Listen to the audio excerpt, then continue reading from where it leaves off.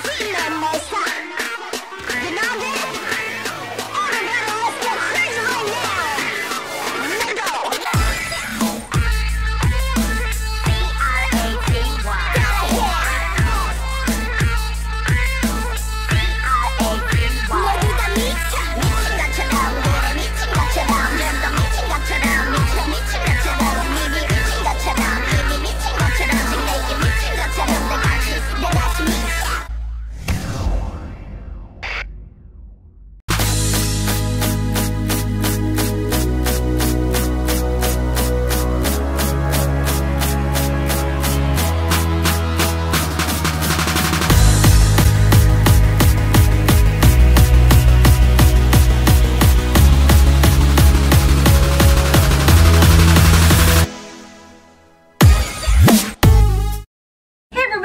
P. Today we are gonna do a look inspired by 4 Minutes Crazy. I will be Jihyun, a 4 Minute. This is a collaboration video with other Filipina beauty YouTubers, so please check their videos too. If you like this video, don't forget to click the thumbs up button. If you have any questions, comments, or suggestions, feel free to write it down below in the comment box.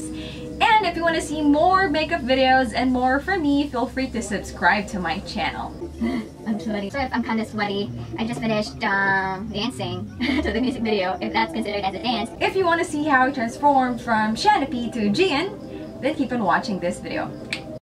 I moisturize my face before putting my base makeup. Then I use Etude House BB Cream Cotton Fit for that medium matte coverage. Because it has a matte finish, it dries faster than a usual BB cream, so try to blend quickly when using it. Build up the layers on areas where you want more coverage. Try to find a shade lighter than your skin tone because in K-pop, the lighter, the better. Set your face with powder. Here I'm using FS 2-Way Cake and Silk for my highlight areas and a darker shade Chino for the rest of my face. You can work with this product by dry and wet application. For me, it's beautiful as a matte powder, but also looks fresh and dewy after sitting on my face for several hours, blending with my facial oils and sweat. Next, I'm doing my contour focusing on the coveted V-line line and the K-pop world, bringing the same color on my hairline and lightly sweeping that under my cheekbones. Okay, time for the brows. Straight, slightly boxy, and upwards, that's the signature K-pop eyebrow look that we are trying to achieve. Fill in your brows with thin, light strokes and tint your brow hairs after. Thicker and straighter eyebrows make you look more youthful. It's the easiest way to cheat your age. Gone are the days of making too heavy vertical lines on the nose. Contour your nose as soft and natural as possible. Rhinoplasty check! Prime your eyelids, then we're gonna play with golden and bronzy colors. Using a creamy brown eye pencil, line your eyes as close to the lash line. No need to make a perfect line because we're just gonna smudge and blend it. Grab a matte powder that's closest to your skin tone for your overall lid color. Then pick up a golden pigment and put that on the outer and inner third of your eye. Blend the color upwards and lightly sweep that on your crease line. Use the pigments left on the brush for your lower lash line. With a finer applicator brush, get the dark bronze color and put that on your outer V. Continue building up the color until you get a sharper tail end. Then put the same color on the inner corner blend as you wish and then we are gonna intensify the eye color with this black eyeshadow.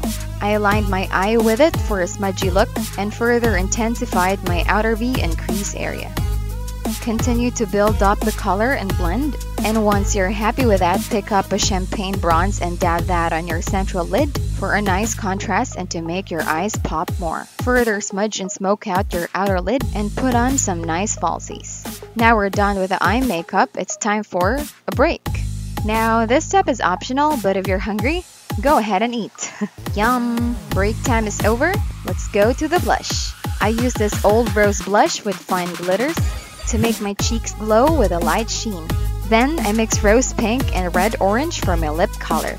No Korean gradient lip this time, they actually rock bold lips in the music video. Blot the lips with tissue paper and we're done with this look. Mwah.